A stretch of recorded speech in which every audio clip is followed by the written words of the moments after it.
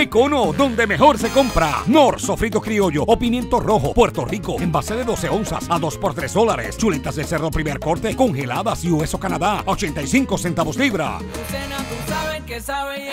que